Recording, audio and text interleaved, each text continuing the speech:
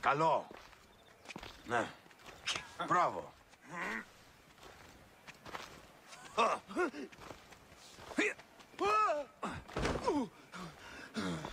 Καλό.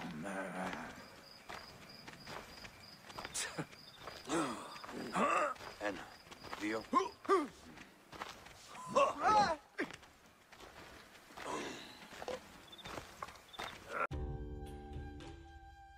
Prometheus. Himmel und Erde waren geschaffen, das Meer wogte in seinen Ufern und die Fische spielten darin, in den Lüften sangen beflügelt die Vögel, der Erdboden wimmelte von Tieren. Aber noch fehlte es an dem Geschöpfe, dessen Leib so beschaffen war, dass der Geist in ihm Wohnung machen und von ihm aus die Erdenwelt beherrschen konnte. Da betrat Prometheus die Erde, ein Sprößling des alten Göttergeschlechts, das Zeus entthront hatte, ein Sohn des erdgeborenen Uranus-Sohnes Japetos, kluger Erfindung voll. Dieser wusste wohl, dass im Erdboden der Same des Himmels schlummere, darum nahm er vom Tone, befeuchtete denselben mit dem Wasser des Flusses, knetete ihn und formte daraus ein Gebilde, nach dem Ebenbilde der Götter, der Herren der Welt. Diesen seinen Erdenkloss zu beleben, entlehnte er allenthalben von den Tierseelen gute und böse Eigenschaften und schloss sie in die Brust des Menschen ein. Unter den Himmlischen hatte er eine Freundin, Athene, die Göttin der Weisheit. Diese bewunderte die Schöpfung des Titanensohnes und blies dem halbbeseelten Bilde den Geist, den göttlichen Atem ein. So entstanden die ersten Menschen und füllten bald vervielfältigt die Erde. Lange aber wussten diese nicht, wie sie sich ihrer edlen Glieder und des empfangenen Götterfunkens bedienen sollten. Sehend sahen sie umsonst, hörten hörend nicht, wie Traumgestalten liefen sie umher und wussten sich der Schöpfung nicht zu bedienen. Unbekannt war ihnen die Kunst, Steine auszugraben und zu bebauen, aus Lehm Ziegel zu brennen, Balken aus dem gefällten Holze des Waldes zu zimmern und mit allem diesem sich Häuser zu erbauen. Unter der Erde, in sonnenlosen Höhlen, wimmelte es von ihnen wie von beweglichen Ameisen, nicht den Winter, nicht den blütevollen Frühling, nicht den früchtereichen Sommer kannten sie an sicheren Zeichen, planlos war alles, was sie verrichteten, da nahm sich Prometheus seine Geschöpfe an, er lehrte sie den Auf- und Niedergang der Gestirne zu beobachten, erfand ihnen die Kunst zu zählen, die Buchstabenschrift, lehrte sie Tiere ans Joch spannen und zu Genossen ihrer Arbeit brauchen, gewöhnte die Rosse an Zügel und Wagen, erfand Nachen und Segel für die Schifffahrt. Auch fürs übrige Leben sorgte er den Menschen. Früher, wenn einer krank wurde, wusste er kein Mittel, nicht was von Speise und Trank ihm zuträglich sei, kannte kein Salböl zur Linderung seiner Schäden, sondern aus Mangel an Arzneien starben sie elendiglich dahin. Darum zeigte ihnen Prometheus die Mischung milder Heilmittel, allerlei Krankheiten damit zu vertreiben. Dann lehrte er sie die Wahrsagekunst, deutete ihnen Vorzeichen und Träume, Vogelflug und Opferschau. Ferner führte er ihren Blick unter die Erde und ließ sie hier das Erz, das Eisen, das Silber und das Gold entdecken, Kurz in alle Bequemlichkeiten und Künste des Lebens leitete er sie ein. Im Himmel herrschte mit seinen Kindern seit kurzem Zeus, der seinen Vater Kronos entthront und das alte Göttergeschlecht, von welchem auch Prometheus abstammte, gestürzt hatte. Jetzt wurden die neuen Götter aufmerksam auf das eben entstandene Menschenvolk. Sie verlangten Verehrung von ihm für den Schutz, welchen sie demselben angedeihen zu lassen bereitwillig waren. Zu Mekone in Griechenland ward ein Tag gehalten zwischen Sterblichen und Unsterblichen und Rechte und Pflichten der Menschen bestimmt. Bei dieser Versammlung erschien Prometheus als Anwalt seiner Menschen, dafür zu sorgen, dass die Götter für die übernommenen Schutzämter den Sterblichen nicht allzu lästige Gebühren auferlegen möchten. Da verführte den Prometheus seine Klugheit, die Götter zu betrügen. Er schlachtete im Namen seiner Geschöpfe einen großen Stier, davon sollten die himmlischen Wellen, was sie für sich davon verlangten. Er hatte aber nach Zerstückelung des Opfertieres zwei Haufen gemacht, auf die eine Seite legte er das Fleisch, das Eingeweide und den Speck, in die Haut des Stieres zusammengefasst, auf die andere die kahlen Knochen, künstlich in das Unschlitt des Schlachtopfers eingehüllt. Und dieser Haufen war der größere. Zeus, der Göttervater, der Allwissende, durchschaute seinen Betrug und sprach, Sohn des Japitos, erlauchter König, guter Freund, wie ungleich hast du die Teile geteilt. Prometheus glaubte jetzt erst recht, dass er ihn betrogen, lächelte bei sich selbst und sprach, Erlauchter Zeus, größter der ewigen Götter, wähle den Teil, den dir dein Herz im Busen anrät zu wählen. Zeus ergrimmte im Herzen, aber geflissentlich fasste er mit beiden Händen das weiße Unschlitt. Als er es nun auseinandergedrückt und die bloßen Knochen gewahrte, stellte er sich an, als entdeckte er jetzt eben erst den Betrug und zornig sprach er, ich sehe wohl, Freund Iapezionide, dass du die Kunst des Truges noch nicht verlernt hast. Zeus beschloss, sich an Prometheus für seinen Betrug zu rächen, und versagte den Sterblichen die letzte Gabe, der sie zur vollendeteren Gesittung bedürften, das Feuer. Doch auch dafür wusste der schlaue Sohn des Japetus Rat. Er nahm den langen Stängel des markigen Riesenfenchels, näherte sich mit ihm dem vorüberfahrenden Sonnenwagen und setzte so den Stängel in glostenden Brand. Mit diesem Feuerzunder kam er Herrn Ida auf die Erde, und bald loderte der erste Holzstoß gen Himmel. In innerster Seele schmerzte es den Donnerer, als er den fernhin leuchtenden Glanz des Feuers unter den Menschen emporsteigen sah. Sofort formte er, zum Ersatz für des Feuers Gebrauch, das den Sterblichen nicht mehr zu nehmen war, ein neues Übel für sie. Der seiner Kunst wegen berühmte Feuergott Hephaistos musste ihm das Scheinbild einer schönen Jungfrau fertigen, Athene selbst, die, auf Prometheus eifersüchtig, ihm abhold geworden war, warf dem Bild ein weißes, schimmerndes Gewand über, ließ ihr einen Schleier über das Gesicht wallen, den das Mädchen mit den Händen geteilt hielt, bekränzte ihr Haupt mit frischen Blumen und umschlang es mit einer goldenen Binde, die gleichfalls Hephaistos seinem Vater zuliebe kunstreich verfertigt und mit bunten Tiergestalten herrlich verziert hatte. Hermes, der Götterbote, musste dem holden Gebilde Sprache verleihen, und Aphrodite allen Liebreiz. Also hatte Zeus unter der Gestalt eines Gutes ein blendendes Übel geschaffen und nannte sie Pandora, das heißt die Allbeschenkte, denn jeder der Unsterblichen hatte dem Mägdlein irgendein unheilbringendes Geschenk für die Menschen mitgegeben. Darauf führte er die Jungfrau Herrn Ida auf die Erde, wo Sterbliche vermischt mit den Göttern lustwandelten. Alle miteinander bewunderten die unvergleichliche Gestalt. Sie aber schritt zu Epimetheus, dem argloseren Bruder des Prometheus, ihm das Geschenk des Zeus zu bringen. Vergebens hatte diesen der Bruder gewarnt, niemals ein Geschenk vom olympischen Zeus anzunehmen, damit dem Menschen kein Leid dadurch widerführe, sondern es sofort zurückzusenden. Epimetheus, dieses Wortes uneingedenk, nahm die schöne Jungfrau mit Freuden auf und empfand das Übel erst, als er es hatte. Denn bisher lebten die Geschlechter der Menschen, von seinem Bruder beraten, frei von Übel, ohne beschwerliche Arbeit, ohne quälende Krankheit. Das Weib aber trug in den Händen ihr Geschenk, ein großes Gefäß mit einem Deckel versehen.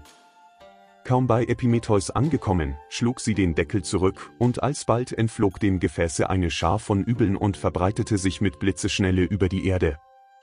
Ein einziges Gut war zunterst in dem Fasse verborgen, die Hoffnung, aber auf den Rat des Göttervaters warf Pandora den Deckel wieder zu, ehe sie herausflattern konnte, und verschloss sie für immer in dem Gefäß. Das Elend füllte inzwischen in allen Gestalten Erde, Luft und Meer. Die Krankheiten irrten bei Tage und bei Nacht unter den Menschen umher, heimlich und schweigend, denn Zeus hatte ihnen keine Stimme gegeben, eine Schar von Fiebern hielt die Erde belagert, und der Tod, früher nur langsam die Sterblichen beschleichend, beflügelte seinen Schritt. Darauf wandte sich Zeus mit seiner Rache gegen Prometheus. Er übergab den Verbrecher dem Hephaistos und seinen Dienern, dem Kratos und der Bia, dem Zwang und der Gewalt. Diese mussten ihn in die skytischen Einöden schleppen und hier, über einem schauderhaften Abgrund, an eine Felswand des Berges Kaukasus mit unauflöslichen Ketten schmieden. Ungern vollzog Hephaistos den Auftrag seines Vaters, er liebte in dem Titanensohne den verwandten Abkömmling seines Urgroßvaters Uranus, den ebenbürtigen Göttersprössling. Unter mitleidsvollen Worten und von den roheren Knechten gescholten, ließ er diese das grausame Werk vollbringen. So musste nun Prometheus an der freudlosen Klippe hängen, aufrecht, schlaflos, niemals imstande, das müde Knie zu beugen. Viele vergebliche Klagen und Seufzer wirst du versenden, sagte Hephaistos zu ihm, denn des Zeus Sinn ist unerbittlich und alle, die erst seit kurzem die Herrschergewalt an sich gerissen stern, sind hartherzig. Wirklich sollte auch die Qual des Gefangenen ewig oder doch 30.000 Jahre dauern. Obwohl laut aufseufzend und Winde, Ströme, Quellen und Meereswellen, die Allmutter Erde und den ellenschauenden Sonnenkreis zu Zeugen seiner Pein aufrufend, blieb er doch ungebeugten Sinnes. Was das Schicksal beschlossen hat, sprach er, muss derjenige tragen, der die unbezwingliche Gewalt der Notwendigkeit einsehen gelernt hat.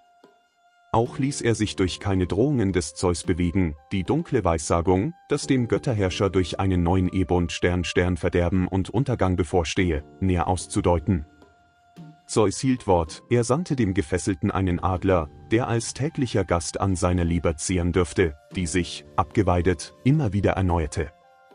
Diese Qual sollte nicht eher aufhören, bis ein Ersatzmann erscheinen würde, der durch freiwillige Übernahme des Todes gewissermaßen sein Stellvertreter zu werden sich erböte. Jener Zeitpunkt erschien früher, als der Verurteilte nach des Zeus Spruch erwarten dürfte. Als er 30 Jahre an dem Felsen gehangen, kam Herakles, Herkules, des Weges, auf der Fahrt nach den Hesperiden und ihren Äpfeln begriffen. Wie er den Götterenkel am Kaukasus hängen sah und sich seines guten Rates zu erfreuen hoffte, erbarmte ihn sein Geschick, denn er sah zu, wie der Adler, auf den Knien des Prometheus sitzend, an der Leber des Unglückseligen fraß.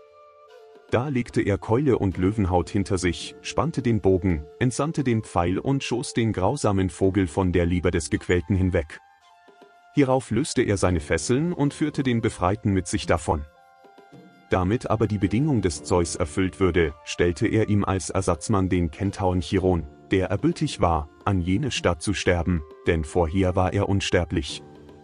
Auf das jedoch das Urteil des Zeus, der den Prometheus auf weit längere Zeit an den Felsen gesprochen hatte, auch so nicht unvollzogen bliebe, so musste Prometheus fortwährend einen eisernen Ring tragen, an welchem sich ein Steinchen von jenem Kaukasusfelsen befand. So konnte sich Zeus rühmen, dass sein Feind noch immer an den Kaukasus angeschmiedet liebe. Die Menschenalter Die ersten Menschen, welche die Götter schufen, waren ein goldenes Geschlecht. Diese lebten, solange Kronos, Saturnus, dem Himmel vorstand, sorgenlos und den Göttern selbst ähnlich, von Arbeit und Kummer entfernt. Auch die Leiden des Alters waren ihnen unbekannt, an Händen, Füßen und allen Gliedern immer rüstig, freuten sie sich, von jeglichem Übel frei, heiterer Gelage. Die seligen Götter hatten sie lieb und schenkten ihnen auf reichen Fluren stattliche Herden. Wenn sie verscheiden sollten, sanken sie nur in sanften Schlaf. Solange sie aber lebten, hatten sie alle möglichen Güter, das Erdreich gewährte ihnen alle Früchte von selbst und im Überflusse, und ruhig mit allen Gütern gesegnet, vollbrachten sie ihr Tagewerk. Nachdem jenes Geschlecht nach dem Beschlüsse des Schicksals von der Erde verschwunden war, wurden sie zu frommen Schutzgöttern, welche, dicht in Nebel gehüllt, die Erde rings durchwandelten, als Geber alles Guten, Behüter des Rechts und Rächer aller Vergehungen. Hierauf schufen die Unsterblichen ein zweites Menschengeschlecht aus Silber, dieses war schon weit von jenem abgeartet und glich ihm weder an Körpergestaltung noch an Gesinnung. Sondern ganze hundert Jahre wuchs der verzärtelte Knabe noch unmündig an Geist unter der mütterlichen Pflege im Elternhause auf, und wenn einer endlich zum Jünglingsalter herangereift war, so blieb ihm nur noch kurze Frist zum Leben übrig. Unvernünftige Handlungen stürzten diese neun Menschen in Jammer, denn sie konnten schon ihre Leidenschaften nicht mehr mäßigen und frevelten im Übermute gegeneinander. Auch die Altäre der Götter wollten sie nicht mehr mit den gebührenden Opfern ehren. Deswegen nahm Zeus dieses Geschlecht wieder von der Erde hinweg, denn ihm gefiel nicht, dass sie der Ehrfurcht gegen die Unsterblichen ermangelten doch waren auch diese noch nicht so entblößt von Vorzügen, dass ihnen nach ihrer Entfernung aus dem Leben nicht einige Ehre zum Anteil geworden wäre, und sie dürften als sterbliche Dämonen noch auf der Erde umherwandeln. Nun erschuf der Vater Zeus ein drittes Geschlecht von Menschen, dieses nur aus Erz. Das war auch dem Silbernen völlig ungleich, grausam, gewalttätig, immer nur den Geschäften des Krieges ergeben, immer einer auf des andern Beleidigung sinnend. Sie verschmähten es, von den Früchten des Feldes zu essen und nährten sich vom Tierfleische, ihr Starrsinn war hart wie Diamant, ihr Leib von ungeheurem Gliederbau, Hände wuchsen ihnen von den Schultern, denen niemand nahe kommen dürfte. Ihr Gewehr war Erz, ihre Wohnung Erz, mit Erz bestellten sie das Feld, denn Eisen war damals noch nicht vorhanden. Sie kehrten ihre eigenen Hände gegeneinander, aber so groß und entsetzlich sie waren, so vermochten sie doch nichts gegen den schwarzen Tod und stiegen, vom hellen Sonnenlichte scheidend, in die schaurige Nacht der Unterwelt Ida. Als die Erde auch dieses Geschlecht eingehüllt hatte, brachte Zeus ein viertes Geschlecht hervor, das auf der nähernden Erde wohnen sollte. Dies war wieder edler und gerechter als das vorige. Es war das Geschlecht der göttlichen Heroen, welche die Vorwelt auch Halbgötter genannt hat. Zuletzt vertilgte aber auch sie Zwietracht und Krieg, die einen vor den sieben Toren Thebens, wo sie um das Reich des Königs Oedipus, Ödipus, kämpften, die anderen auf dem Gefilde Trojas, wohin sie um der schönen Helena willen zahllos auf Schiffen gekommen waren. Als diese ihr Erdenleben in Kampf und Not beschlossen hatten, ordnete ihnen der Vater Zeus ihren Sitz am Rande des Weltalls an, im Ozean, auf den Inseln der Seligen. Dort führten sie nach dem Tode ein glückliches und sorgenfreies Leben, wo ihnen der fruchtbare Boden dreimal im Jahre honigsüße Früchte zum Lapsal emporsendet. Ach, wäre ich, so seufzt der alte Dichter Hesiod, der diese Sage von den Menschenaltern erzählt, wäre ich doch nicht ein Genösse des fünften Menschengeschlechts, das jetzt gekommen ist, wäre ich früher gestorben oder später geboren.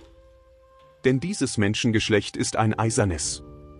Gänzlich verderbt, ruhen diese Menschen weder bei Tage noch bei Nacht von Kümmernis und Beschwerden, immer neue nagende Sorgen schicken ihnen die Götter. Sie selbst aber sind sich die größte Plage. Der Vater ist dem Sohne, der Sohn dem Vater nicht hold, der Gast hasst den bewirtenden Freund, der Genösse den Genossen, auch unter Brüdern herrscht nicht mehr herzliche Liebe wie vor Zeiten. Den grauen Haare der Eltern selbst wird die Ehrfurcht versagt, Schmachreden werden gegen sie ausgestoßen, Misshandlungen müssen sie erdulden.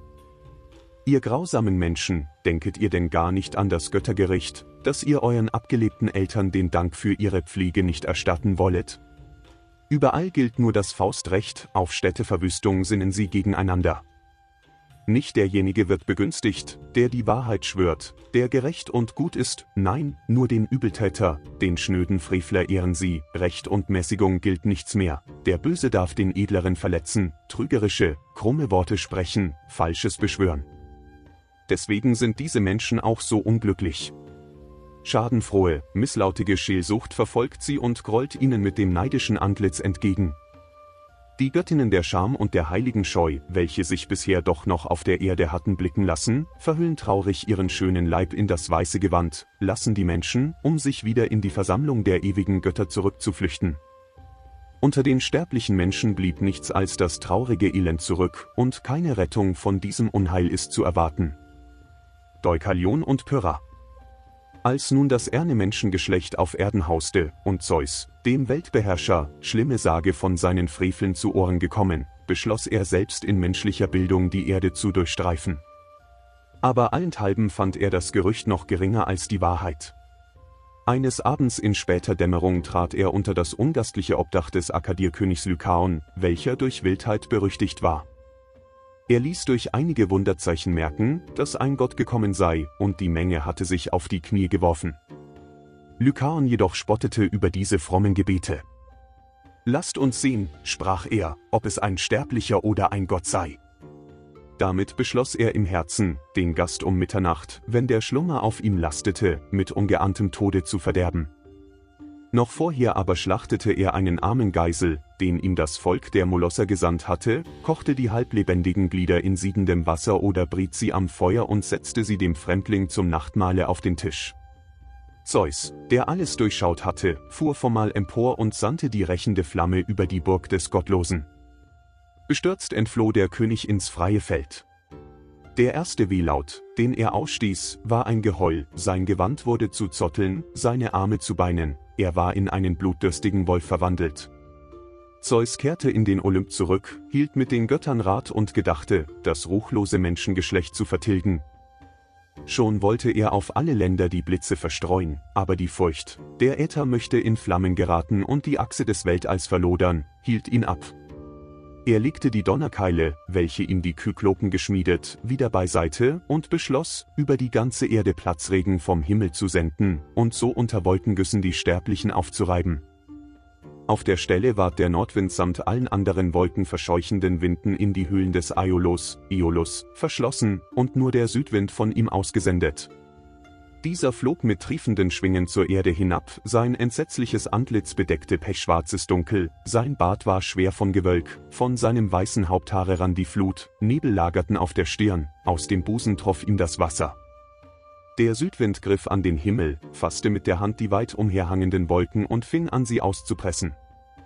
Der Donner rollte, gedrängte Regenflut stürzte vom Himmel, dieser beugte sich unter dem wogenden Sturm, da niederlag die Hoffnung des Landmannes, verdorben war die langwierige Arbeit des ganzen Jahres. Auch Poseidon, der Bruder des Zeus, kam ihm bei dem Zerstörungswerke zu Hilfe, berief alle Flüsse zusammen und sprach, lasst euren Strömungen alle Zügel schießen, fallt in die Häuser, durchbrechet die Dämme. Sie vollführten seinen Befehl, und Poseidon selbst durchstach mit seinem Dreizack das Erdreich und schaffte durch Erschütterung den Fluteneingang. So strömten die Flüsse über die offene Flur hin, bedeckten die Felder, rissen Baumpflanzungen, Tempel und Häuser fort. Blieb auch wo ein Palast stehen, so deckte doch bald das Wasser seinen Giebel, und die höchsten Türme verbargen sich im Strudel. Meer und Erde waren bald nicht mehr unterschieden, alles war See und gestadeloser See. Die Menschen suchten sich zu retten, so gut sie konnten, der eine erkletterte den höchsten Berg, der andere bestieg einen Kahn und ruderte nun über das Dach seines versunkenen Landhauses oder über die Hügel seiner Weinpflanzungen hin, dass der Kiel an ihnen streifte. In den Ästen der Wälder arbeiteten sich die Fische ab, den Eber, den eilenden Hirsch erjagte die Flut, ganze Völker wurden vom Wasser hinweggerafft, und was die Welle verschonte, starb den Hungertod auf den unbebauten Heidegipfeln. Ein solcher hoher Berg ragte noch mit zwei Spitzen im Lande Phokis über die alles bedeckende Meerflut hervor. Es war der Parnassus. An ihn schwamm Deukalion, des Prometheus Sohn, den dieser gewarnt und ihm ein Schiff erbaut hatte, mit seiner Gattin Pyrrha im Nachen heran. Kein Mann, kein Weib war je erfunden worden, die an Rechtschaffenheit und Götterscheu diese beiden übertroffen hätten. Als nun Zeus vom Himmel herabschauend die Welt von stehenden Sümpfen überschwemmt und von den vielen tausendmal Tausenden nur ein einziges Menschenpaar übrig sah, beide unstrefflich, beide andächtige Verehrer der Gottheit, da sandte er den Nordwind aus, sprengte die schwarzen Wolken und hieß ihn die Nebel entführen, er zeigte den Himmel der Erde, und die Erde dem Himmel wieder.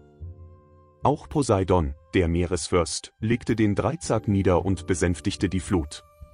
Das Meer erhielt wieder Ufer, die Flüsse kehrten in ihr Bett zurück, Wälder streckten ihre mit Schlamm bedeckten Baumwipfel aus der Tiefe hervor, Hügel folgten, endlich breitete sich auch wieder ebenes Land aus, und zuletzt war die Erde wieder da. Deukalion blickte um sich. Das Land war verwüstet und in Grabestille versenkt. Tränen rollten bei diesem Anblick über seine Wangen, und er sprach zu seinem Weibe Pyrrha, Geliebte, einzige Lebensgenossin. Soweit ich in die Länder schaue, nach allen Weltgegenden hin, kann ich keine lebende Seele entdecken. Wir zwei bilden miteinander das Volk der Erde, alle anderen sind in der Wasserflut untergegangen. Aber auch wir sind unseres Lebens noch nicht mit Gewissheit sicher. Jede Wolke, die ich sehe, erschreckt meine Seele noch. Und wenn auch alle Gefahr vorüber ist, was fangen wir Einsamen auf der verlassenen Erde an? Ach, dass mich mein Vater Prometheus die Kunst gelehrt hätte, Menschen zu erschaffen und geformtem Tone Geist einzugießen. So sprach er, und das verlassene Paar fing an zu weinen, dann warfen sie vor einem halb zerstörten Altar der Göttin Themis sich auf die Knie nieder und begannen zu der himmlischen zu fliehen. Sag uns an, o Göttin, durch welche Kunst stellen wir unser untergegangenes Geschlecht wieder her? O hilf der versunkenen Welt wieder zum Leben. Verlasset meinen Altar, tönte die Stimme der Göttin, umschleiert euer Haupt, löset eure gegürteten Glieder und werfet die Gebeine eurer Mutter hinter den Rücken. Lange verwunderten sich beide über diesen rätselhaften Götterspruch. Pyrrha brach zuerst das Schweigen. Verzeih mir, hohe Göttin, sprach sie, wenn ich zusammenschaudere, wenn ich dir nicht gehorsam bin und meiner Mutter Schatten nicht durch Zerstreuung ihrer Gebeine kränken will. Aber dem Deukalion fuhr es durch den Geist wie ein Lichtstrahl. Er beruhigte seine Gattin mit dem freundlichen Worte, entweder trügt mich mein Scharfsinn oder die Worte der Götter sind fromm und verbergen keinen Frevel. Unsere große Mutter, das ist die Erde, ihre Knochen sind die Steine, und diese, Pyrrha, sollen wir hinter uns werfen. Beide misstrauten indessen dieser Deutung noch lange. Jedoch, was schadet die Probe, dachten sie. So gingen sie dann seitwärts, verhüllten ihr Haupt, entgürteten ihre Kleider und warfen, wie ihnen befohlen war, die Steine hinter sich. Da ereignete sich ein großes Wunder, das Gestein begann seine Härte und Sprödigkeit abzulegen, wurde geschmeidig, wuchs, gewann eine Gestalt, menschliche Formen traten an ihm hervor, doch noch nicht deutlich, sondern rohen Gebilden, oder einer in Marmor vom Künstler erst aus dem groben herausgemeißelten Figur ähnlich. Was jedoch an den Steinen Feuchtes oder Erdiges war, das wurde zu Fleisch an dem Körper, das Unbeugsame, Feste ward in Knochen verwandelt, das Geäder in den Steinen blieb Geäder. So gewannen mit Hilfe der Götter in kurzer Frist die vom Manne geworfenen Steine männliche Bildung, die vom Weibe geworfenen weibliche. Diesen seinen Ursprung verleugnet das menschliche Geschlecht nicht, es ist ein hartes Geschlecht und tauglich zur Arbeit. jeden Augenblick erinnert es daran, aus welchem Stamm es erwachsen ist. Io. Inachos, der uralte Stammfürst und König der Pelasger, hatte eine bildschöne Tochter mit Namen Io. Auf sie war der Blick des Zeus, des olympischen Herrschers, gefallen, als sie auf der Wiese von Lerna die Herden ihres Vaters pflegte.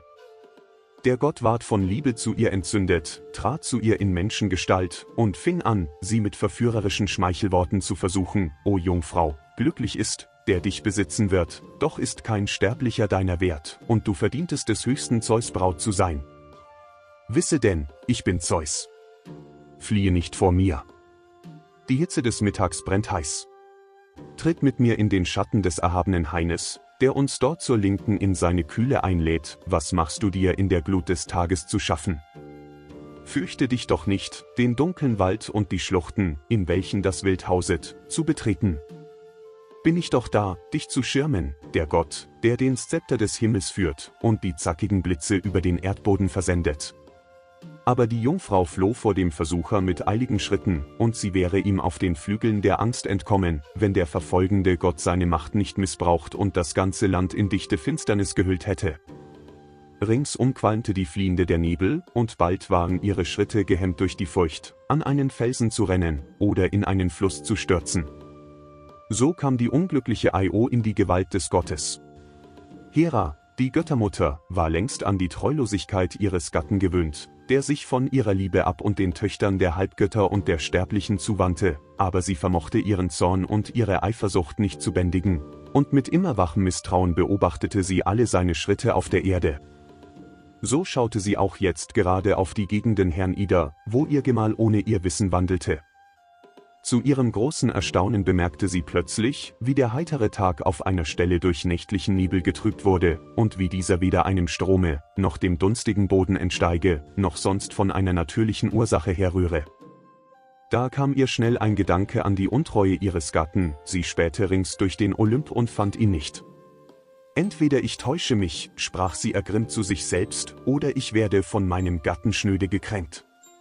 Und nun fuhr sie auf einer Wolke vom hohen Äther zur Erde Herrn Ida und gebot dem Nebel, der den Entführer mit seiner Beute umschlossen hielt, zu weichen.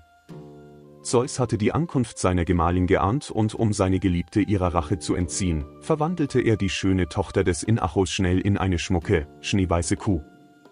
Aber auch so war die holdselige Jungfrau noch schön geblieben, Hera, welche die List ihres Gemahls alsbald durchschaut hatte, pries das stattliche Tier und fragte, als wüsste sie nichts von der Wahrheit, wem die Kuh gehöre, von wannen und welcher Leidsucht sie sei. Zeus, in der Not und um sie von weiterer Nachfrage abzuschrecken, nahm seine Zuflucht zu einer Lüge und gab vor, die Kuh entstamme der Erde. Hera gab sich damit zufrieden, aber sie bat sich das schöne Tier von ihrem Gemahl zum Geschenk aus. Was sollte der betrogene Betrüger machen? Gibt er die Kuh hier, so wird er seiner Geliebten verlustig, verweigert er sie, so erregt er erst recht den Verdacht seiner Gemahlin, welche der Unglücklichen dann rasches Verderben senden wird. So entschloss er sich denn, für den Augenblick auf die Jungfrau zu verzichten und schenkte die schimmernde Kuh, die er noch immer für unentdeckt hielt, seiner Gemahlin. Hera knüpfte, scheinbar beglückt durch die Gabe, dem schönen Tier ein Band um den Hals und führte die unselige, der ein verzweifelndes Menschenherz unter der Tiergestalt schlug, im Triumphe davon. Doch machte der Göttin dieser Diebstahl selbst Angst, und sie ruhte nicht, bis sie ihre Nebenbuhlerin der sichersten Hut überantwortet hatte. Daher suchte sie den Argos, den Sohn des Arestor, auf, ein Ungetüm, das ihr zu diesem Dienste besonders geeignet schien. Denn Argus hatte hundert Augen im Kopfe, von denen nur ein paar abwechslungsweise sich schloss und der Ruhe ergab, während die übrigen alle, über Vorder- und Hinterhaupt wie funkelnde Sterne zerstreut, auf ihrem Posten ausharrten. Diesen gab Hera der armen Io zum Wächter, damit ihr Gemahl Zeus die entrissene Geliebte nicht entführen könne. Unter seinen hundert Augen dürfte Io, die Kuh, des Tages über auf einer fetten Trift weiden, Argus aber stand in der Nähe, und wo er sich immer hinstellen mochte, erblickte er die ihm anvertraute, auch wenn er sich abwandte und ihr das Hinterhaupt zukehrte, hatte er Io vor Augen, wenn aber die Sonne untergegangen war, schloss er sie ein und belastete den Hals der Unglückseligen mit Ketten, bittere Kräuter und Baumlaub waren ihre Speise, ihr Bett der harte, nicht einmal immer mit Gras bedeckte Boden, ihr Trank schlammige Pfützen. Io vergaß oft, dass sie kein Mensch mehr war, sie wollte Mitleid erflehend ihre Arme zu Argus erheben, da ward sie erst daran erinnert, dass sie keine Arme mehr hatte. Sie wollte ihm in Worten rührende Bitten vortragen, dann entfuhr ihrem Munde ein Brüllen, dass sie vor ihrer eigenen Stimme erschrak, welche sie daran mahnte, wie sie durch ihres Räubers Selbstsucht in ein Vieh verwandelt worden sei. Doch blieb Argus mit ihr nicht an einer Stelle, denn so hatte es ihn Hera geheißen, die durch Veränderung ihres Aufenthaltes sie dem Gemahl umso gewisser zu entziehen hoffte. Daher zog ihr Wächter mit ihr im Lande herum, und so kam sie auch mit ihm in ihre alte Heimat, an das Gestade des Flusses, wo sie so oft als Kind zu spielen gepflegt hatte. Da sah sie zum ersten Mal ihr Bild in der Flut, als das Tierhaupt mit Hörnern ihr aus dem Wasser entgegenblickte, schauderte sie zurück und floh bestürzt vor sich selbst.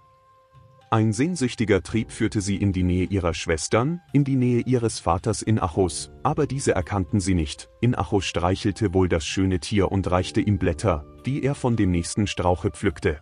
Io beleckte dankbar seine Hand und benetzte sie mit Küssen und heimlichen menschlichen Tränen. Aber wen er liebkoste und von wem er geliebkost wurde, das ahnte der Greis nicht. Endlich kam der Armen, deren Geist unter der Verwandlung nicht gelitten hatte, ein glücklicher Gedanke.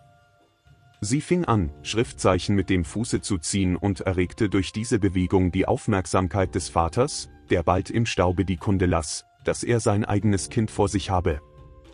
Ich Unglückseliger, rief der Greis bei dieser Entdeckung aus, indem er sich an Hörn und Nacken der stöhnenden Tochter hing, so muss ich dich wiederfinden, die ich durch alle Länder gesucht habe. Wehe mir, du hast mir weniger Kummer gemacht, solange ich dich suchte, als jetzt, wo ich dich gefunden habe du schweigst. Du kannst mir kein tröstendes Wort sagen, mir nur mit einem Gebrüll antworten. Ich Tor, einst sah nicht darauf, wie ich dir einen würdigen Eidam zuführen könnte, und dachte nur an Brautfackel und Vermahlung. Nun bist du ein Kind der Herde. Argus, der grausame Wächter, ließ den jammernden Vater nicht vollenden, er riss sie von dem Vater hinweg und schleppte sie fort, auf einsame Weiden. Dann klomm er selbst einen Berggipfel empor und versah sein Amt, indem er mit seinen hundert Augen wachsam nach allen vier Winden hinauslugte. Zeus konnte das Leid der Inachus-Tochter nicht länger ertragen. Er rief seinem geliebten Sohne Hermes und befahl ihm, seine List zu brauchen und dem verhassten Wächter das Augenlicht auszulöschen. Dieser beflügelte seine Füße, ergriff mit der mächtigen Hand seine einschläfernde Rute und setzte seinen Reisehut auf. So fuhr er von dem Palaste seines Vaters zur Erde nieder. Dort legte er Hut und Schwingen ab und behielt nur den Stab, so stellte er einen Hirten vor, lockte Ziegen an sich und trieb sie auf die abgelegenen Fluren, wo Io weidete und Argus die Wache hielt. Dort angekommen, zog er ein Hirtenrohr, das man Syrinx nennt, hervor und fing an, so anmutig und voll zu blasen, wie man von irdischen Hirten zu vernehmen nicht gewohnt ist. Der Diener Harras freute sich dieses ungewohnten Schalles, erhob sich von seinem Felsensitze und rief Herrn Ida, wer du auch sein magst, willkommener Rohrbläser, du könntest wohl bei mir auf diesem Felsen hier ausruhen. Nirgends ist der Graswuchs üppiger für das Vieh, als hier, und du siehst, wie behaglich der Schatten dieser dicht gepflanzten Bäume für den Hirten ist. Hermes dankte dem Rufenden, stieg hinauf und setzte sich zu dem Wächter, mit welchem er eifrig zu plaudern anfing und sich so ernstlich ins Gespräch vertiefte, dass der Tag herumging, ehe Argus sich dessen versah. Diesem begannen die Augen zu schläfern, und nun griff Hermes wieder zu seinem Rohre und versuchte sein Spiel, um ihn vollends in Schlummer zu wiegen. Aber Argus, der an den Zorn seiner Herrin dachte, wenn er seine Gefangene ohne Fesseln und Obhut ließe, kämpfte mit dem Schlaf, und wenn sich auch der Schlummer in einen Teil seiner Augen einschlich, so wachte er doch fortdauernd mit dem anderen Teile, nahm sich zusammen, und, da die Rohrpfeife erst kürzlich erfunden worden war, so fragte er seinen Gesellen nach dem Ursprünge dieser Erfindung. Das will ich dir gern erzählen, sagte Hermes, wenn du in dieser späten Abendstunde Geduld und Aufmerksamkeit genug hast, mich anzuhören. In den Schneegebirgen Arkadiens wohnte eine berühmte Hamadryad, Baumnymphe, mit Namen Syrinx. Die Waldgötter und Saturn, von ihrer Schönheit bezaubert, verfolgten sie schon lange mit ihrer Werbung, aber immer wusste sie ihnen zu entschlüpfen. Denn sie scheute das Joch der Vermahlung und wollte, umgurtet und jagdliebend wie Artemis, gleich dieser in jungfräulichem Stande verharren. Endlich wurde auf seinen Streifereien durch jene Wälder auch der mächtige Gott Pan der Nymphe ansichtig, näherte sich ihr und warb um ihre Hand dringend und im stolzen Bewusstsein seiner Hoheit. Aber die Nymphe verschmähte sein Fliehen und flüchtete vor ihm durch unwegsame Steppen, bis sie zuletzt an das langsame Wasser des versandeten Flusses Ladon kam, dessen Wellen doch noch tief genug waren, der Jungfrau den Übergang zu wehren. Hier beschwor sie ihre Schutzgöttin Artemis, ehe sie in die Hand des Gottes fiele, ihrer Verehrerin sich zu erbarmen und sie zu verwandeln. Indem kam der Gott herangeflogen und umfasste die am Ufer zögernde, aber wie staunte er, als er, statt einer Nymphe zu umarmen, nur ein Schilfrohr umfasst hielt, seine lauten Seufzer zogen vervielfältigt durch das Rohr und wiederholten sich mit tiefen klagenden Gesäusel. Der Zauber dieses Wohllautes tröstete den getäuschten Gott, Wohl denn, verwandelte Nymphe, rief er mit schmerzlicher Freude, auch so soll unsere Verbindung unauflöslich sein. Und nun schnitt er sich von dem geliebten Schilfe ungleichförmige Röhren, verknüpfte sie mit Wachs untereinander und nannte die lieblich tönende Flöte nach dem Namen der holden Hamadreib, und seitdem heißt dieses Hirtenrohr Syrinx. So lautete die Erzählung des Hermes, bei welcher er den hundertäugigen Wächter unausgesetzt im Auge behielt. Die Meer war noch nicht zu Ende, als er sah, wie ein Auge um das andere sich unter der Decke geborgen hatte, und endlich alle die hundert Leuchten in dichtem Schlaf erloschen waren. Nun hemmte der Götterbote seine Stimme, berührte mit seinem Zauberstabe alle die hundert eingeschläferten Augenlider und verstärkte ihre Betäubung. Während nun der hundertäugige Argus in tiefem Schlafe nickte, griff Hermes schnell zu dem Sichelschwerte, das er unter seinem Hirtenrocke verborgen trug, und hieb ihm den gesenkten Nacken, da wo der Hals zunächst an den Kopf grenzt, durch und durch. Kopf und Rumpf stürzten nacheinander vom Felsen herab und färbten das Gestein mit einem Strome von Blut.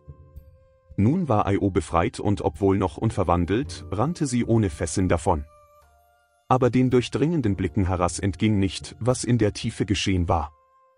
Sie dachte auf eine ausgesuchte Qual für ihre Nebenbuhlerin und sandte ihr eine Bremse, die das unglückliche Geschöpf durch ihren Stich zum Wahnsinn trieb. Diese Qual jagte die Geängstigte mit ihrem Stachel landflüchtig über den ganzen Erdkreis, zu den Skythen, an den Kaukasus, zum Amazonenvolke, zum Kimmernerischen Isthmus und an die Majotische See, dann hinüber nach Asien und endlich nach langem verzweiflungsvollem Irrlaufe nach Ägypten. Hier am Strande des Nilufers angelangt, sank Lo auf ihre Vorderfüße nieder und hob, den Hals rücklings gebogen, ihre stummen Augen zum Olymp empor, mit einem Blicke voll Haders gegen Zeus.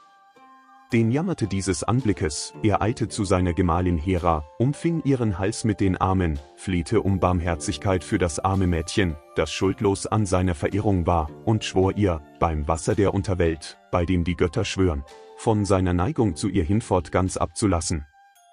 Hera hörte während dieser Bitte das flehentliche Brüllen der Kuh, das zum Olymp emporstieg.